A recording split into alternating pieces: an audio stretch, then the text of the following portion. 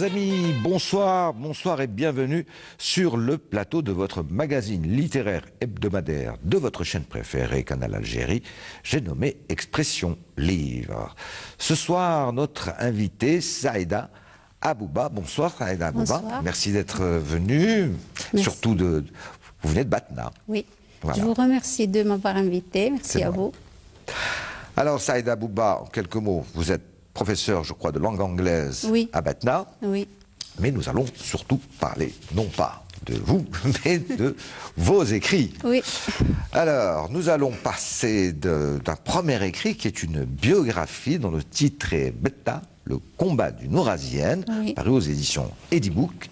Et ensuite, nous parlerons Public. de, euh, plus précisément de euh, votre deuxième ouvrage. En réalité, c'était le premier ouvrage que vous avez Oui, écrit, le qui s'intitule. Oui. C'est un roman également paru aux éditions Edibook. Et puis, euh, à la fin de l'émission, nous signalerons votre tout dernier ouvrage paru aux éditions Edilivre, Ouais. qui se, qui dont le titre est Le destin fatal de Taziri. Oui.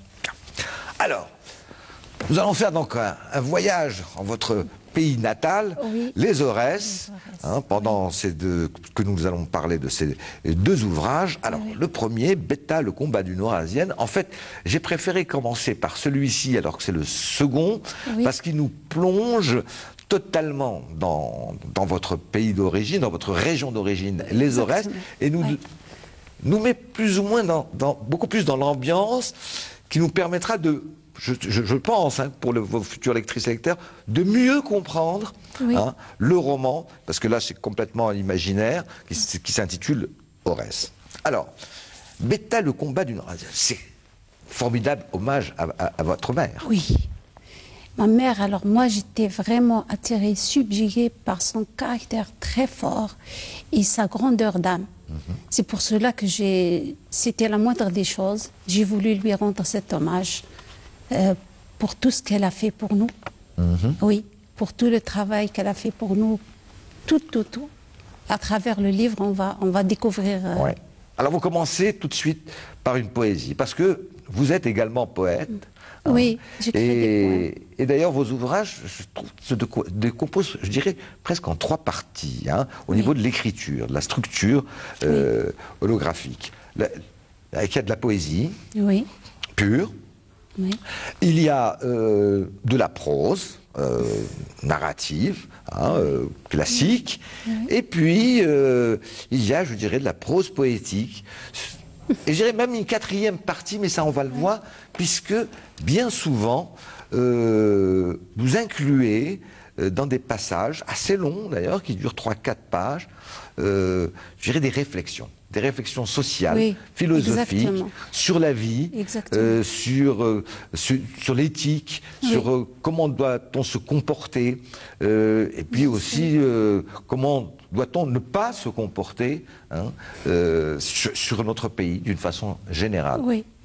oui. Alors, ça, vous avez décidé un jour de vous dire, bon, moi, je vais rendre hommage à ma mère parce que, et en même temps, c'était un peu pour dire, je voudrais rendre hommage à ces, à ces vieux euh, euh, femmes ou hommes, hein, Voilà, sages, qui nous ont tout appris exactement. et qui ont eu la vue très dure. Oui. Ah, Donnez-nous un petit peu comme ça l'image de cette une vie très une dure. précaire, très très dure dans les Aurès.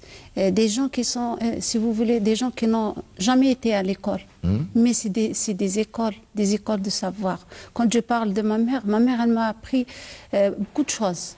Beaucoup, beaucoup de choses. Quand je la regardais et j'apprenais. Je la voyais souffrir, mais elle ne le montrait jamais.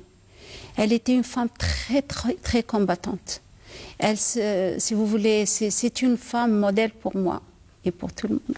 Ah bah ça vous le dites à Elle longueur de représente page. les- même euh, ma mère, elle peut. euh, si je parle de ma mère, c'est que je parle aussi des femmes euh, dans les Aurès. hum, hum, de ma mère, ce n'est qu'une figure, Ouais. une figure parmi tant d'autres. D'autres femmes qui ont fait beaucoup pour leur, euh, euh, je ne sais pas, c'est pour leurs enfants, dans la famille, euh, ils ont, ils ont aidé leur famille. Il y a des femmes qui ont combattu, si vous voulez, il y a des femmes qui ont combattu euh, durant les, les- La lutte de libération guerre. nationale, oui, oui. oui, oui. Surtout dans les ça. Alors, je- je- on Voilà. pourrait presque dire que vous rendez hommage à votre mère. Euh, après, c'est on le lit bien, c'est un hommage à toutes ces femmes de- de- Oui. des Aurès. Et ensuite, on pourrait dire à toutes ces femmes algériennes. Euh, oui, Que ce soit de l'Est à l'Ouest, du Nord Oui, au Sud, euh, qui ont euh, eu une vie très, très, très difficile. Alors, Moi, quand je parle de ma mère en tant que femme, je parle de la femme algérienne Mhm. en général. Et de, de la femme dans les Aurès, pourquoi? Parce que là, j'ai vécu dans les Aurès, et ce que, c'est-à-dire, je parle de, de, de ce que j'ai vécu de, au, au quotidien. alors elle, elle a eu une vie, effectivement. euh, euh, D'abord, votre, votre mère est orpheline. Oui, Hein? elle était orpheline. Donc très très jeune, elle Oui. a perdu et sa mère et son père. Oui, Donc elle va être prise en charge euh, euh, par des parents proches. Euh, euh, alors il y a- une chose qui m'a étonné hein, dans, Oui. dans- dans cette biographie, mais on- qu'on retrouve aussi dans votre roman. Mhm. Aurès, c'est que quelquefois, euh, parce que vous- vous- les personnages se, se nomment ainsi, qu'ils soient vrais ou imaginaires, comme dans Aurès, c'est que on a presque l'impression que que ce soit le voisin ou que ce soit un véritable oncle ou tante, c'est la même chose. oui, oui. Cette- vie communautaire. C'est une vie, c'est-à-dire, euh, j'ai parlé aussi de- des relations, de, l'amitié, de, l'amour, de l'amour qu'il y avait entre ma mère et, et sa famille. Ma mère, elle, elle nous a donné tous euh, une partie, c'est-à-dire, euh, je peux dire que c'est des parties égales pour tous ses enfants et même son, son entourage. Il y a aussi la relation entre ma mère et ses voisins. Oui. Oui. Très important. Très, très importante. Il, y avait- il- il vivait comme euh, si une seule famille, Ouais. si vous voulez. C'est une seule famille. S'il y a un problème dans une famille, c'est ma mère qui, est, qui le règle. Ouais. Ça, je me rappelle très, très bien. Alors, elle, elle- elle- elle se, elle marie à, l'âge de Oui, 12 ans, ce qui, est, ce qui est très jeune. Comme toutes les femmes euh, de son époque, Ouais. c'était 12-13 ans. C'était, euh, alors, sans indiscrétion, hein, euh, je sais que Ouais. les femmes sont bien souvent coquettes, mais, ça se situe dans, vers, vers les quelles années, là Euh, ma Dans les mère, années elle- 40, à peu près, hein, c'est ça Ouais, les années Euh, 30. 35-40. Voilà, hein. 35, Oui, alors on voit bien que Oui. dans les années 35-40, Bien sûr. effectivement, malheureusement, on est sous la colonisation. Oui. La vie dans certaines régions d'Algérie, dans- enfin beaucoup de régions d'Algérie, Euh, et particulièrement dans ces régions comme la Kabylie, les etc., sont extrêmement dures. Oui, Euh, C'est carrément pratiquement la misère noire, hein, on Ah peut dire.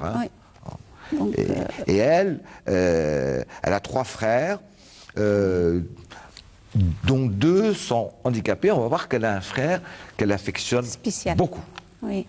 Oui, Bouha. Bouha, Oui. qui aura une importance c'est la capitale. c'est la relation entre ma mère et son frère. Et c'est son demi-frère, hein. C'est ça. Oui, c'est son demi-frère. Et ce frère, euh, c'est-à-dire, c'est comme c'est un retardé mental, elle lui a donné beaucoup d'affection. Ouais.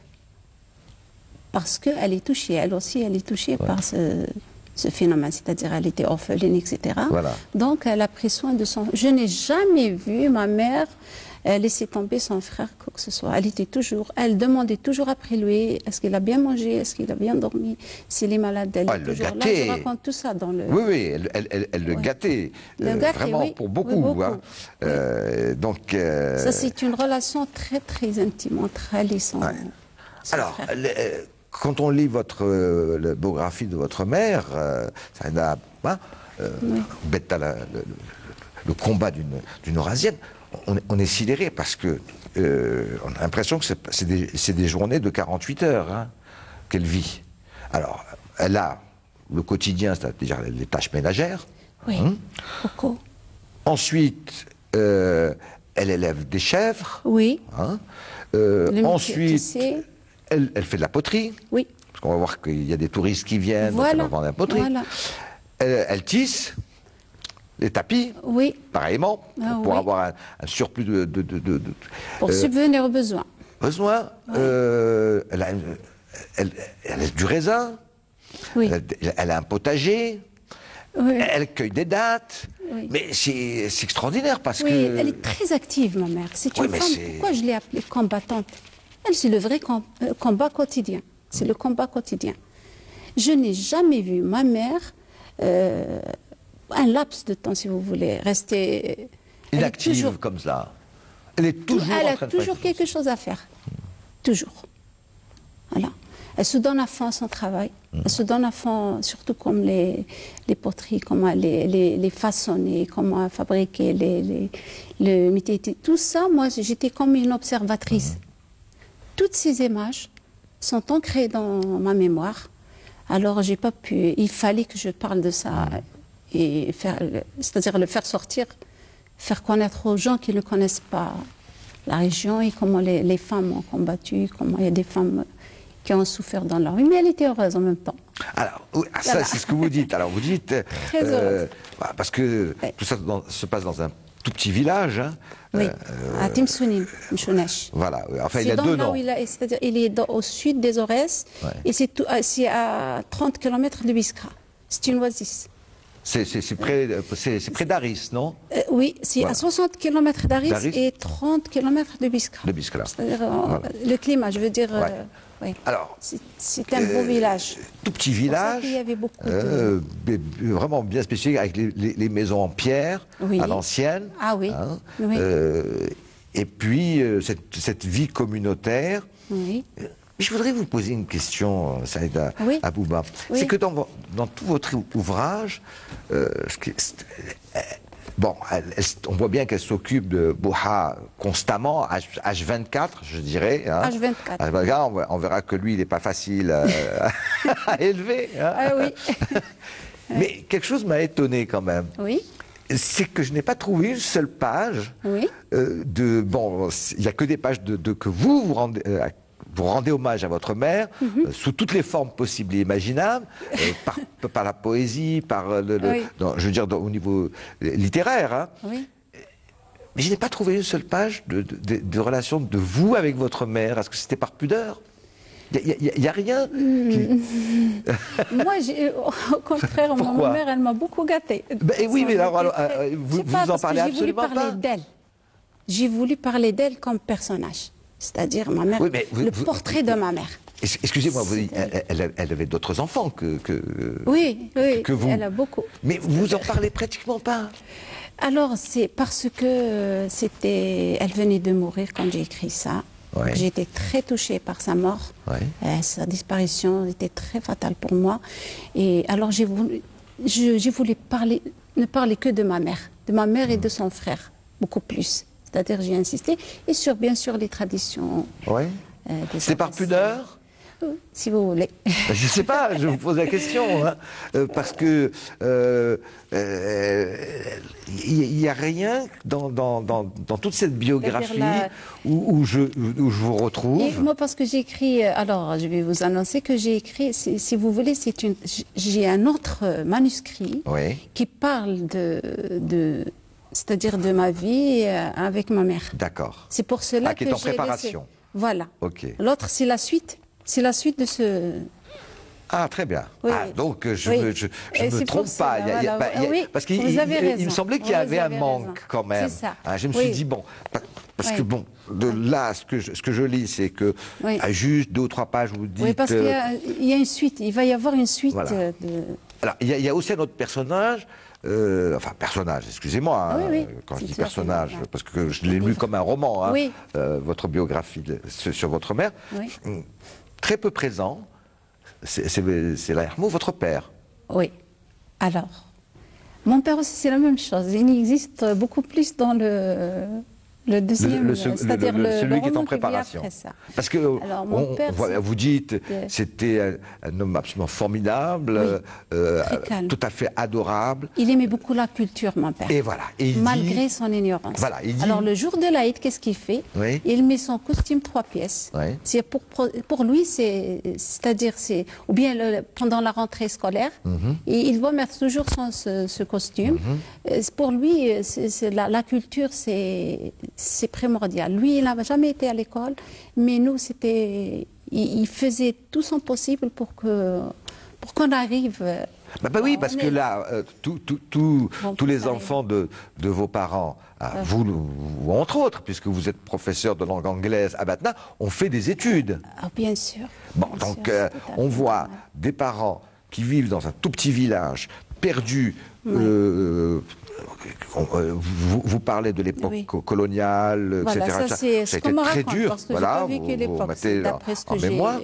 Et puis on voit bien que aussi. ça n'a ça pas dû être facile pour élever plusieurs enfants, Oui. euh, filles et garçons, Oui. pour les amener à un certain niveau d'études qui leur a permis d'être, d'entrer à l'université.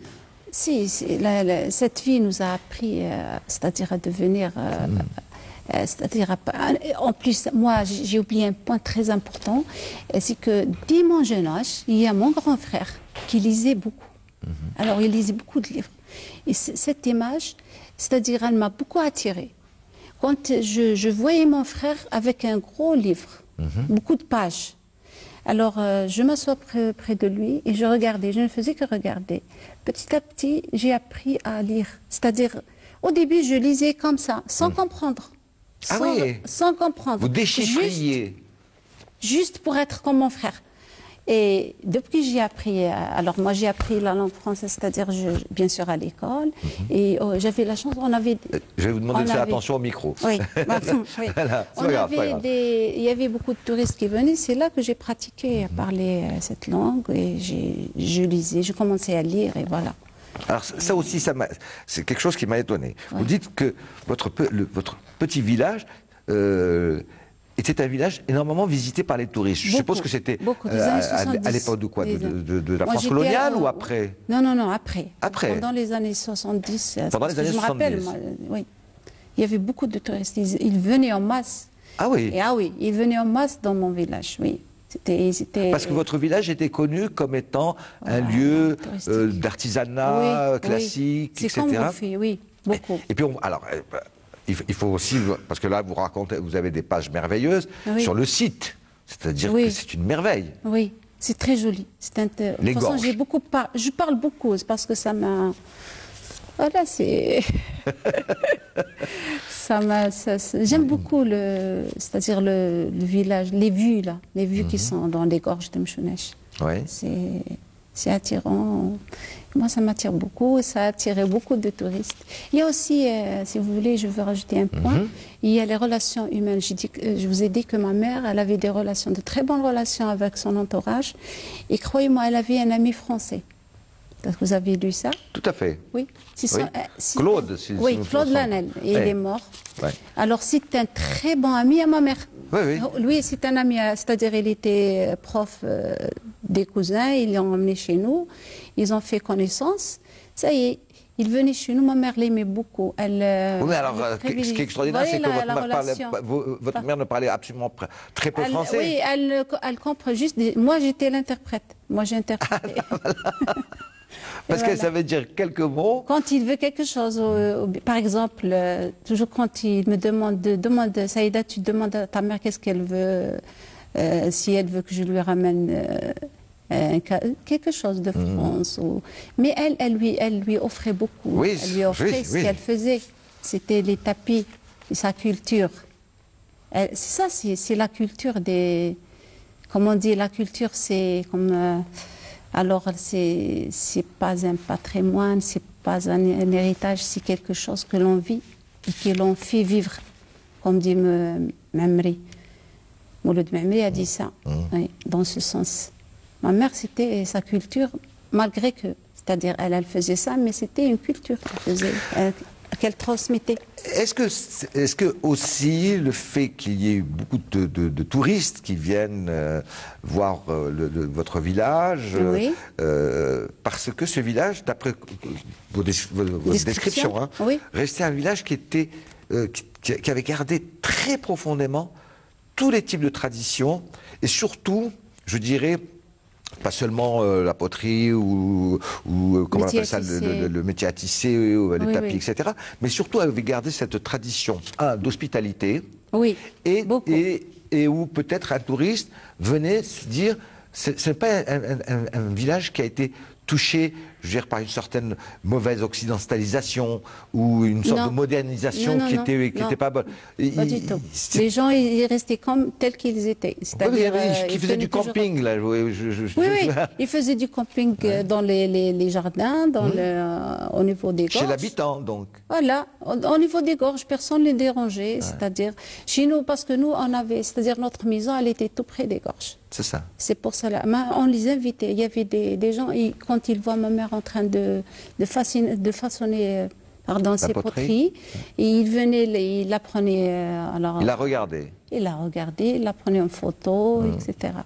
Voilà, et, moi j'expliquais comment ça se passe, les étapes. J'ai même écrit sur ça. Euh, j'ai parlé de tout ce que, dont je me rappelle, parce qu'il y a des trucs que j'ai. Oui, bien sûr, la mémoire devient infidèle parfois. Hein. oui. d'être, euh, c'est-à-dire de parler de tout. Et alors, euh, vous, entre vous dans, la famille, vous, ne parliez quasiment que, que Oui. Parce que là, vous, vous, nous Moi, j'ai appris, appris, à parler l'arabe quand je suis allée à l'école. Ah oui Oui. Avant, vous ne connaissiez absolument pas hmm, Pas beaucoup. Pas beaucoup Pas beaucoup. Oui, quelques mots. Et ça, reste, et ça reste jusqu'à maintenant?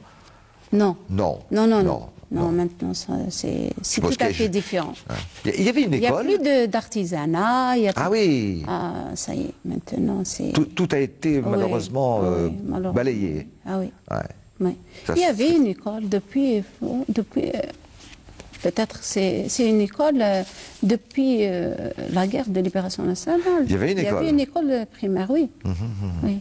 On l'appelle collège comme collège. C'est le collège en Chaoui. C'est-à-dire ils ont pris ça du français.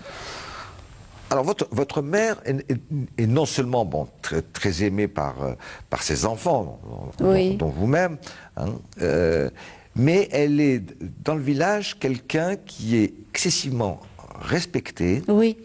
Parce que euh, on a l'impression que c'est celle qui un, est la conseillère dès qu'il y a des problèmes entre un mari et une femme.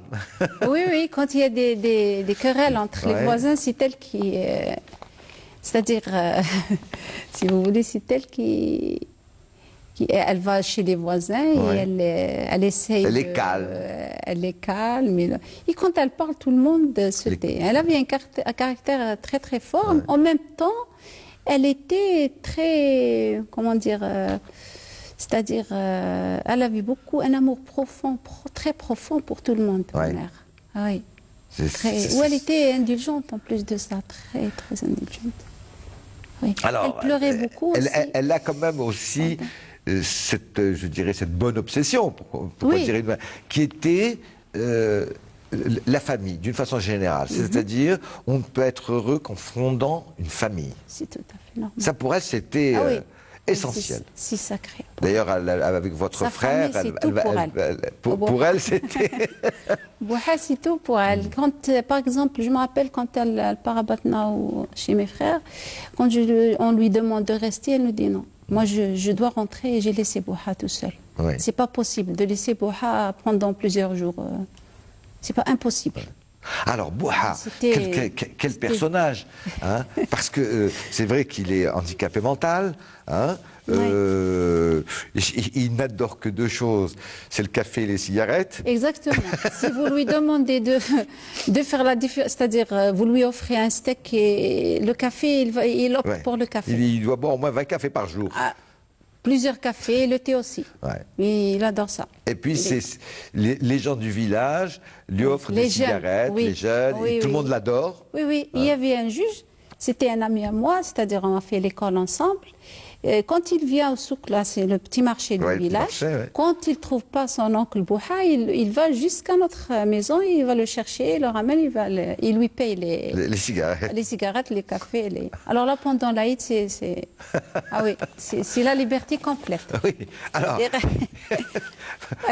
votre mère euh, a, beaucoup de difficultés à, à le faire pas travailler, mais à s'occuper. Parce qu'elle, elle est très active. Donc, elle, voulait que Bouha soit comme elle. Oui, alors, lui, bon, il doit s'occuper des chèvres, il s'en occupe pratiquement jamais. Hein, il descend au, village pour aller fumer ses cigarettes et boire son café avec ses copains. Elle lui demande de, de, de, faire ça, de, faire, de, l'aider à la, cueillette des dates oui, lui, il, ne fait que il parler. Va se baigner. Voilà, il se baigne, oui, exactement. Quand elle lui demande, par exemple, d'aller euh, surveiller les, les, les, le jardin, il part à se baigner. C'est ça, oui. Voilà. Ah, ici, parce que, oui, ici, comme ça, il est comme ça. Oui. oui. Aussi, il m'a touché, il m'a beaucoup, euh, je l'aimais beaucoup, moi. Hmm. Parce que quand j'ai ouvert euh, mes yeux, il était là, on l'aimait beaucoup, tout le monde. Mais est-ce que c'est pas aussi, je vais vous poser la question, euh, Saïda Abouba, parce que une partie de ma famille, du côté de ma mère, est, de cette région, de, plutôt près de Biskra. Ouais, ce sont des, gens des Aurès, hein, etc. Et nous avions un, oncle comme ça qui me rappelle tout à fait Bouha, à, à Bentios, qui est près de Tolga. Oui, oui, je connais. Et euh, c'était aussi euh, quelqu'un qui était assez simple d'esprit, etc. Voilà, c'est simple d'esprit. Et, et, tout le monde l'adorait, mais c'est parce qu'il y avait aussi cette idée, bon, s'il n'y avait pas ça dans votre famille, c'est que euh, ces personnes sont, sont très, très proches de Dieu. Parce qu'ils sont très purs, très saints. Comment on dit en arabe Oui. Peut-être. Euh, on, les respectait beaucoup parce qu'on se disait c'était des gens qui étaient parce que c'était un peu comme on dit euh, les simples d'esprit sont, sont plus voilà, Dieu parce qu'ils sont purs. voilà. ils n'ont pas de, de, méchanceté en eux. Pas du tout. Hum. Pas du tout. Aucune méchanceté. Ils sont, très, sont très, aimés. Voilà. Très très aimés exactement. C'est un personnage de roman, Bouha. Hein. ah oui, bien sûr. parce qu'avec ça. Alors. Euh, on a vu les querelles. Alors, vous parlez beaucoup, euh, surtout des, rapports euh, entre voisines. Elles, étaient tout le temps les unes chez les autres. Hein. et se partageant les, tout. tout. Les, fêtes, Incroyable. Pendant les... Moi, je me rappelle des métiers à tisser. Quand, euh, par exemple, une voisine veut faire, c'est-à-dire monter son métier à tisser, qu'est-ce qu'elles font? Elle invite, elle les invite, elle invite toutes les, dames, les bonnes dames, elles viennent et euh, c'est-à-dire elles, fabriquent le métier à tisser. En même temps, elles sont invitées chez la bonne dame qui, est, qui va le, c'est-à-dire le faire dans, chez elle et vice versa. La prochaine fois, ce sera pour ma mère, etc. C'est ça. J'ai même parlé des fêtes. Euh, oui, alors vous parlez de, évidemment, il y a hein, vous parlez des mariages, il y a mariages, qui sont des moments excessivement importants. des traditions. Les, toutes les, j'ai essayé de, de, rassembler les traditions de, l'époque pour parler, ah, pour faire connaître ça aux gens qui ne connaissent pas les Aurès. Avec une très grande nostalgie de, de, de ces moments-là. C'est le moment de, votre enfance, adolescence. Hein. Et vous dites, c'est maintenant c'est fini, ça n'existe malheureusement plus. Oui, ça n'existe euh, pas. de toute façon, ça y est. Parce que c'est ça aussi. Votre, ça. votre biographie, c'est aussi pour beaucoup cette idée comme quoi euh, parce qu'il y, a des, y a des longues pages de réflexion hein, sur euh, le monde d'aujourd'hui. Voilà, je fais des comparaisons pour le matérialisme. Et, on, sent une très grande tristesse de votre part en disant euh, bon, la vie était rude. Il n'y avait pas grand-chose, mais, mais, les gens étaient quand même un peu plus heureux parce que les rapports humains. Très heureux. Hein, très les rapports humains étaient. Oui, très, très, très forts. Il y avait des rapports très, très forts entre les gens à l'époque. Ah, mais, il y avait des méchants quand même aussi. Ah, c'est tout à fait normal. non, mais parce que quand on lit votre biographie, oui. Beta, le combat d'une Eurasienne, on a l'impression qu'il n'y a que des gens très gentils. Euh, mais il y avait quand même des méchants. Moi, j'ai parlé des gens gentils. Vous avez évité les méchants. Voilà, j'ignore les méchants. bon, vous les balayez. Voilà, exactement. Allez, les méchants. Ah parce qu'il n'y a pas mieux que la bonté. À, la niche, on dit. Euh, alors, j'ai appris que l'amour, l'amour, c'est primordial dans la vie d'une personne. Quand il y a l'amour, euh, il, y a la, il y a la vie. C'est la vie. Voilà. C'est la bonté, l'amour, c'est la tolérance. Le don de soi. Voilà. Parce que c'est ça. votre mère, elle a donné toute sa vie, hein, puisqu'elle s'est mariée à 12 ans quand même. Donc toute sa vie, euh, elle l'a consacrée aux autres. Pas seulement à sa famille, mais ah, aux autres. Aux autres, oui. D'une façon générale. Elle vivait pour les autres. C'est extraordinaire. elle, oui. Parce que là, on voit bien que euh, elle, a, quasiment pas de vie vraiment intime et personnelle. Oui, oui, c'est vrai. Elle est tout le temps. donne à fond pour tout le monde, pas pour elle. C'est presque un, sacrifice extraordinaire. Oui, oui. C'était ma mère. Beta, le combat d'une Eurasienne, biographie signée par Saïda Abouba, parue aux éditions Edibook. Si vous permettez, nous allons. Publibook. Euh, pardon, Publibook. Oui, c'est l'autre qui est édité. Publibook, Publibook, absolument. Nous allons parler à, de, cette fois-ci, c'est un roman. Oui. Aurès. Aurès, qui en fin de compte était votre premier euh, ouvrage, hein, toujours chez Publibook. Alors, ça se passe toujours dans, dans, votre région, hein, euh, plus spécifiquement à Aris, là, cette fois-ci. Aris, parce que j'ai travaillé là-bas. Hmm. Alors, l'histoire, l'inspiration m'est venue euh, à Aris. Parce que j'ai vécu, j'ai travaillé pendant quatre ans durant la Disney Noire. Voilà, c'est pour ça que j'étais touchée par. Alors, cette région d'Aris. Euh, Une belle région, comme je Alors, qu'est-ce que vous aimez décrire votre. Mais c'est tout à votre honneur. Hein. Ah, vous, vous, vous avez des pages entières, pas, seulement dans Ouest, mais comme on l'a évoqué tout à l'heure dans Betta, le combat du Nord-Asienne. Oui. Vous décrivez sur des pages. Vous devriez faire un guide touristique sur les Aurès.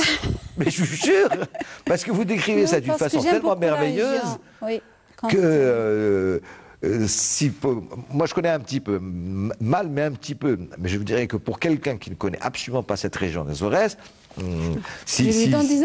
Ah ben écoutez, ça, donne vraiment plus euh, la, fraîcheur de l'eau, le paysage magnifique, les montagnes, les gorges. C'est la vérité. C'est la vérité. L'air pur. Oui. C'est bon, tout à fait vrai. Si, on a envie de prendre son sac à dos et de faire des randonnées pendant, pendant des heures et de dormir à la belle étoile. Oui. il fait froid aussi. Ah, hein. ah oui. Il froid très rude. Il y, a une scène à un moment donné où c'est un paysan qui vient vraiment de la montagne, montagne qui vient vendre euh, oui, des dans produits. Le de mon oui. où, c'est terrible. Vous, vous, le rencontrez et, vous dites, mais, mais d'une pauvreté absolument ah, hallucinante. Ah oui, oui. C'est ce qu'on appelle, euh, en chaoui, on les appelle ibdel. Eh. Ibdel, ça veut dire, euh, c'est-à-dire, ils ramènent, euh, si vous voulez, des, comment dire, des fruits de chez eux. C'est ça, des fruits de la montagne, etc. et puis il y a le troc. Voilà, le troc. Oui, parce que c'est le troc en réalité. Voilà, hein. c'est ça.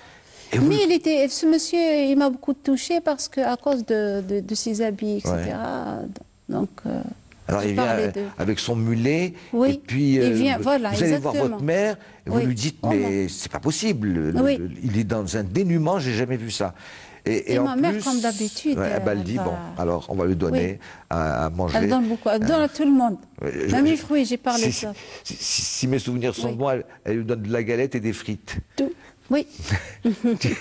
qui, devait être un, plat luxueux pour ah lui, le pauvre. Euh, des frites. ça, semble, ça semble un peu comme ça. Quand même, il y avait euh, des frites à l'époque. Oui.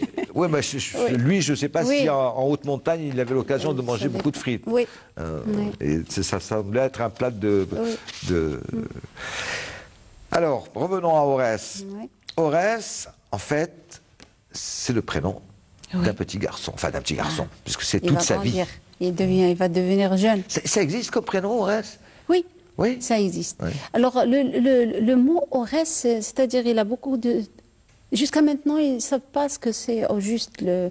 Il y a des gens qui disent que ça, ça veut dire, c'est-à-dire, on, l'appelle Aurès, c'est la couleur. Euh, ocre Des ocres, voilà. D'accord. Des montagnes. D'autres qui disent c'est de cheval blanc. Tout dépend. Moi, moi, je suis allé faire un peu de recherche euh, à Aurès. Euh, on dit que ça veut dire aussi fauve le, le, le fauve. Bon, alors je ne sais pas, mais c'est vrai que c'est difficile. Les deux, définitions. Moi j'ai regardé ça sur un. Il y a des prénoms. moi ça m'a. Ah oui. C'est pour présenter, si vous voulez, les Aurès. C'est pour mhm. ça que j'ai. Mhm. C'est-à-dire Aurès, c'est un, c'est un jeune Algérien, si vous. C'est un bien sûr, c'est un jeune Chaoui, mhm. mais ça parle de. d'un, jeune Algérien en général. Tout à fait. C'est-à-dire, vous allez voir à travers le livre comment. Alors. Euh, il est très aimé, il, tombe dans. il, il, est, si mes souvenirs sont bons, il est, fils unique. Hum, pardon il, est, fils unique, non? Oui, fils ah, unique. Il est fils unique. Euh, son père et sa mère l'adorent. Très bonne éducation. Hein, euh, sa mère Feiza. Oui, oui. Belle orésienne. Voilà. La belle Feiza. Et puis euh, son père Hamid. Voilà. Et tous les deux vont vraiment parfaitement bien éduquer ce petit Aurès. Hein. Il veut devenir un, très bon élève, quelqu'un de parfaitement bien éduqué. et ses parents veulent que, évidemment, euh, bah, il devienne. sûr, Bon, enfin, son difficile. père, c'est pas n'importe qui non plus. Hein. C'est pas n'importe qui. Dans Mais son père aussi, il, a, euh, il a vécu de- dans la misère, son père. Oui, il est orphelin, gens, son père. Voilà, ça reflète la vie des Aurassiens à l'époque. C'est-à-dire, moi, je prends ça, tout ce qu'on me raconte euh, de- sur la, la guerre de libération, Oui. euh, tout ce qui se passe, alors j'ai inspiré ça. Euh, son père, il a vécu avec une grand-mère, il était orphelin lui aussi. C'est ça. Sa grand-mère qui le- qui l'a Voilà. qui l'a élevé. Et- mais quand même, il a eu un certain niveau, comme tous les, les Algériens de l'époque, Mhm. un certain niveau de langue. Et dans la région d'Aris, exactement, les gens, la plupart des gens, c'est-à-dire, ils ont, ils ont étudié la langue française. Ouais. Ils, ont, ils ont un niveau, un bon niveau dans la. D'accord. C'est-à-dire, euh, lui, il était enseignant. Alors, Hamid, il est- d'Aurès, voilà, c'est un instituteur, donc c'est quand même quelqu'un de très respecté dans Voilà, le village. à l'époque hein, c'est pas n'importe qui. euh, euh, donc, il, il, il- Aurès tombe déjà dans une famille où le- où le- où l'un des deux Mhm. Le parents savoir. est instruit. Oui. Hein, donc ça Le va papa. beaucoup jouer. Oh, exactement. Ah. ce que- C'est-à-dire, moi, quand j'ai vécu à Aris, euh, il- il- euh, dans la région, les, les- les jeunes, les jeunes de mon époque ou bien après, moi j'étais enseignante aussi à Aris. Ah. C'est des gens qui travaillent, ils sont excellents. Voilà. C'est-à-dire, euh, ils ont un haut niveau. euh, très bon très- niveau. euh, Voilà. et, un et- très bon et un bon bagage. exactement. Voilà. Alors, il a un grand-père, Moussa, qui, qui- Mais oui. qui l'aime beaucoup. Il est, il est très choyé, il est très gâté. hein. Oui. Ah, que hein. C'est le fils unique. Il est fils unique. Voilà. Mhm. Et comme c'est un très bon élève, euh, il, il va au collège mixte. hein, euh, Oui, oui, Voilà. Et puis, mixte, euh, oui. il, il a aussi, non seulement, euh, un- il a un très bon copain avec qui il va passer Oui. de- depuis son enfance jusqu'à la fin. Oui. Euh, et puis, il y a euh, euh, trois, trois jeunes filles Voilà. hein, qui sont Il y a son tout- amie la voilà, euh, Lamia, euh, Lamia, Asma et, et Radia. Voilà. Et puis, il va y avoir une belle histoire d'amour entre lui et Lamia bien plus oui, tard. exactement. Oui. Et en plus de ça, je parlais, c'est toujours la même chose, je parle des traditions, ce Ouais. qui se passe. euh, voilà, c'est-à-dire le, j'ai parlé de, euh, d'une, c'est-à-dire d'une euh, période de, de la guerre. Là, c'est Ouais. ce qu'on me- ce qu'on m'a appris, ce que je, ce qu'on m'a raconté. Mhm. Là, j'ai pris euh, le, c'est-à-dire la période, cette période, et puis il y a la période de l'entraide aussi toujours entre Ouais. les, les- tous les Algériens. Tous les Algériens, ils s'entraident. Normalement, Alors, y a- c'est ça. il y a- effectivement, y a- moi, je prends la région parce que j'ai vécu dans la C'est ça, région. c'est votre région, C'est tout oui. à fait normal. Oui, bien sûr. Alors, non, il y a de très belles pages concernant euh, euh, cette, cette euphorie extraordinaire qu'il y avait dans les années 70. Voilà. Vous, vous la décrivez très bien en disant c'était f- fabuleux. Oui. Moi, si j'ai Oui. connu cette période-là, effectivement, a- on venait de sortir d'une lutte de libération nationale, d'une guerre terrible, Oui. hein, et euh, cette jeunesse Voilà. euh, qui, qui avait, euh, à, à qui on avait donné les moyens pour euh, Oui. s'instruire, euh, s'élever, Oui. etc.